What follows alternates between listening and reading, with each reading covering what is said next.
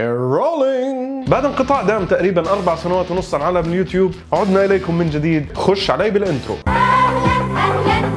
في الفيديو هذا حناقش تجربتي مع The Last of Us Part 2 Resident Evil 3 Final Fantasy 7 Doom Eternal. يعني لو بنت أخوي اللي عمرها 8 سنوات كتبت قصة من الممكن إنه أستمتع فيها أكثر من القصة الفشيلة اللي إحنا شفناها. تعال تعال قرب قرب كمان قرب. هدوكن بعد الشر عنك حبيبي. ولا مين حيتابع الحلقة ويعمل لايك وسبسكرايب. ليش؟ حبوا بعض يا أخي. الموضوع مش مستاهل. ترى. كونيتشوا. مننا جو بودي جاينا. ليني ناغاترا واتاشوا اني تاني كوريشيماس قصة مميزة. تصميم الشخصيات رهيب جدا وبيعطيك نفس إحساس الأجزاء اللي قبل بس برسومات وجرافيكس حديثة. هاي اللعبة جيم اوف ذا يير والله شيء سكرت بولي شق شق إذا أنت مش فاهم إيش اللي بحاول أوصل لك إياه اليوم حنحكي عن التعصب في عالم الألعاب. أربع ألعاب عالم مفتوح ممكن تقضي وقتك فيهم وأنت قاعد في الحجر المنزلي. بدل ما أنت قاعد بتعمل فيديوهات على تيك توك. فركزوا معي أوكي؟ قلت تعاونيا. مش تزعلوا ويجي واحد يحكي لي وين كول اوف ديوتي قلت تعاونيا. استوديو سانتا مونيكا اتحفنا وفاجئنا بشكل كريتوس الجديد. بطل اللعبة ما له اسم. هم عادة بسموه space marine أو Doom Slayer فإحنا حنسميه عبد الغفور. عبد الغفور